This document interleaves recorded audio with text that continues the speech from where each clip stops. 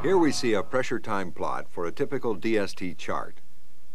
Note that pressure on the vertical scale increases upward. Time on the horizontal scale increases from left to right. Based on the convention of an individual service company or the design of a particular manufacturer's pressure recorder, the pressure scale or the time scale may be reversed. The manner of recording should not affect the final results, but we have to know which is which. Before the test assembly is run into the hole, the tester loads the chart into the recorder and draws the baseline on the chart using the recorder stylus. This represents 0 psig for the mechanical pressure gauge. The clock is then started, the tool assembled and started in the hole. From what we stated earlier, we recognize this to be a typical DST chart.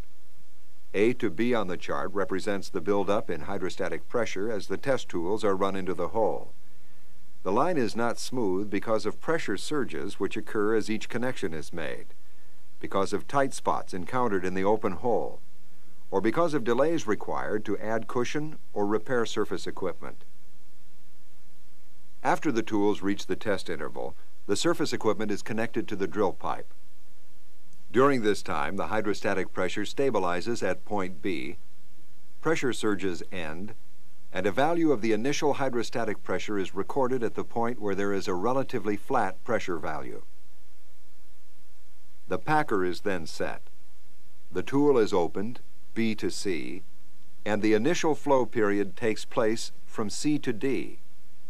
This period lasts for about 5 to 10 minutes.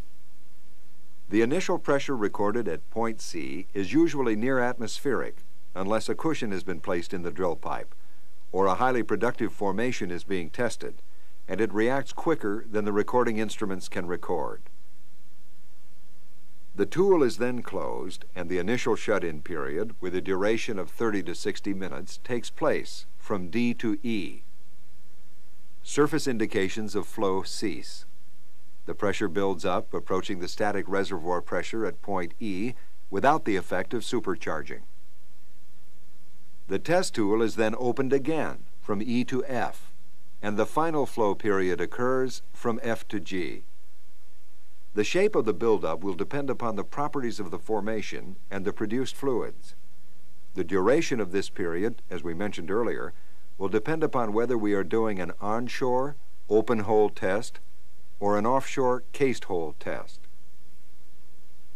At the end of the final flow period, the tool is shut in at point G, and the final buildup period takes place from G to H.